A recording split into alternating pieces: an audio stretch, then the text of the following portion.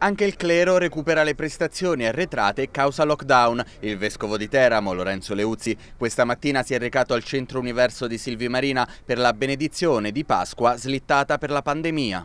Un invito che ho accolto molto volentieri anche perché sono realtà sul territorio molto importanti, sono luoghi di aggregazione e la Chiesa deve essere vicina non soltanto a coloro che organizzano, ma anche essere vicina a coloro che partecipano a questi momenti di incontro all'interno di una realtà così compresa come un centro commerciale. Con, che tutto, con tutti i problemi che ci sono stati, il lockdown e quant'altro, eh, non era stato possibile fare ecco, la, la, classica benedizione di Pasqua che noi facciamo eh, ecco, nel territorio. E quindi ho chiesto a Montina se poteva venire e benedire tutti noi e dare anche, darci anche una mano, un conforto, una parola, una pacca sulla spalla per dire dai ce la facciamo, andiamo avanti, che si riparte tutti, tutti insieme e ce la faremo.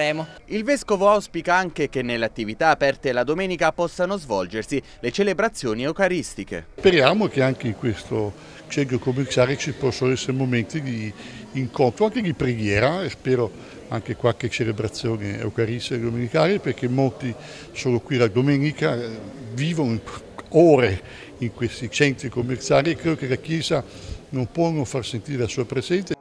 Presenti anche il sindaco e il vice sindaco di Silvi che hanno pregato all'ingresso del centro commerciale insieme al numero uno del clero teramano. Ci fa piacere la visita di Sua Eccellenza il Vescovo però sul nostro territorio e poi su un impianto che sicuramente darà e dà molta soddisfazione alla città.